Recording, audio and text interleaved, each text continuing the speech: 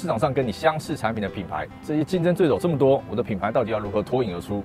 以下几点要跟你分享，尤其是最后一点，记得把影片看完。第一，不要一开始就马上投广告做曝光，而是先找出你产品独特之处，也就是卖点，不然大家都卖类似的东西，为什么我要选择你的品牌？第二，就是不要创作内容都围绕在产品本身，而是思考勾起人性渴望的部分。例如像健身房卖的是瘦身，卖的是增肌曲线。但它同时也卖社交，大家一起参加课程，互相认识，针对这部分的 TA 满足人性群聚渴望。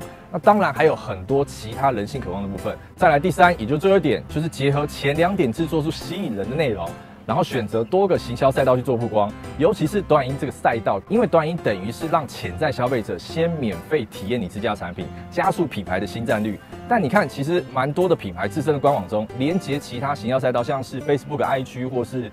Line 的官方账号连接很少有看到整合影音行销赛道，像是 TikTok 或是像 YouTube，如果有连接，是不是也可以同时帮助短音的 TikTok 流量，也同时帮助对品牌的信任感嘛？所以卖点加渴望，再加上结合短音，让品牌脱颖而出。那未来会不会很多的品牌也要增加短音这样行销赛道呢？你觉得呢？